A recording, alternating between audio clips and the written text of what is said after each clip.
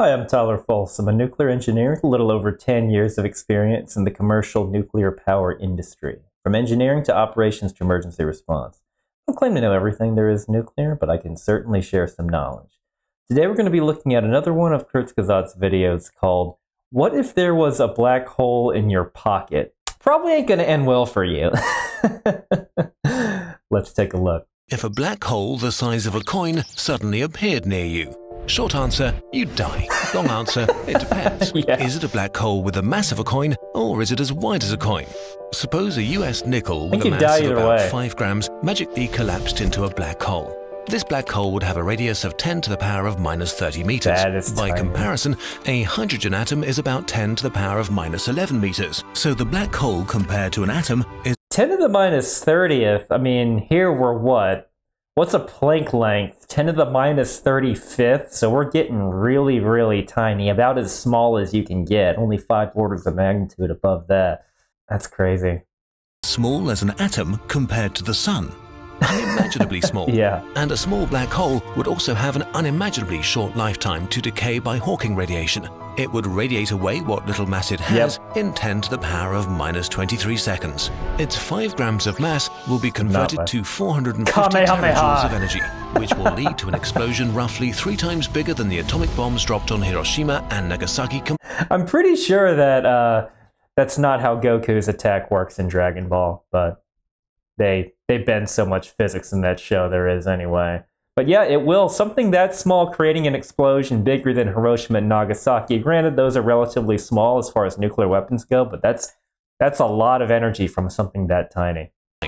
In this case, you die. Massive You also lose the coin. If the black hole had the, the diameter of a common coin, then it would be considerably more massive. In fact, a black hole with the diameter of a nickel would be slightly more massive than the yeah. Earth.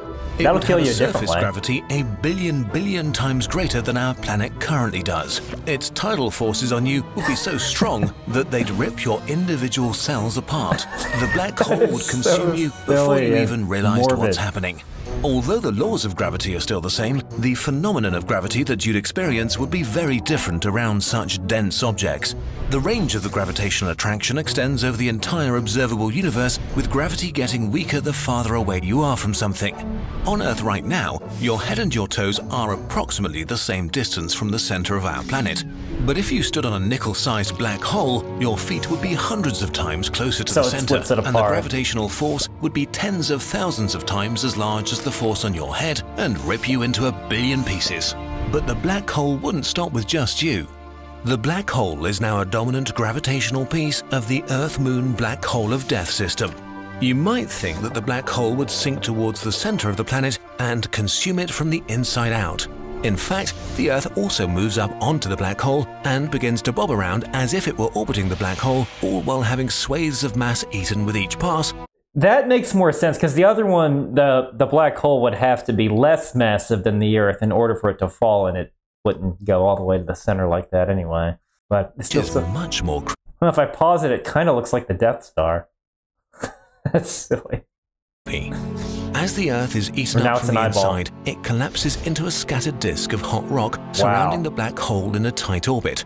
The black hole slowly doubles I guess it its could mass be stable and it wouldn't eat feeding. the whole thing. The moon's orbit is now Not highly sure, elliptical. Though. The effects on the solar system are awesome, in the biblical sense of awesome, awesome. which means terrifying.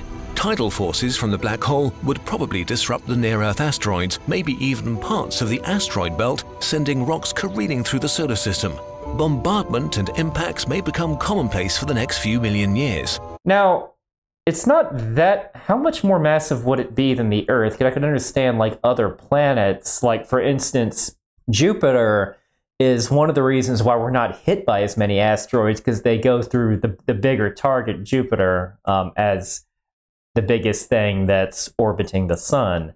But this thing, while it would make it bigger, would it have as much of an impact on asteroids as Jupiter? Because it's not, I don't know if it would be as big. I'd have to do a bit of math involving Schwarzschild radius uh, to see how big this uh, this thing would be relative to the other planets. But that would that would help dictate what ultimately happens on the solar system when it comes to the effects of asteroids and comets and other things floating around through space that can crash into things.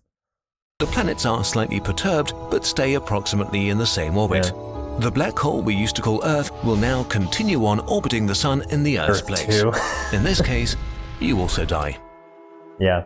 But less people This will die. Less people will die overall in that scenario because the other one, it would just be whatever happens to be close to you within the blast radius of an, um, an atomic bomb compared to destroying the, wiping out everyone on Earth. So I guess option one results in the le- the smallest overall loss of life. So that would be slightly preferable if you had to pick one or the other kind of like the contrived scenario I made with uh, nuclear cookies. Um, I'll link that one in the description below, but it's about um, if you had an alpha or beta and a gamma cookie, which one of those would you have to eat if you got to pick? This was a pretty silly one of uh, certainly one of the sillier ones of uh, Kurzgesagt videos that I've seen in a while, but it's it's a nice uh, short little uh, thought experiment. Thank you very much for watching. I'll see you next time.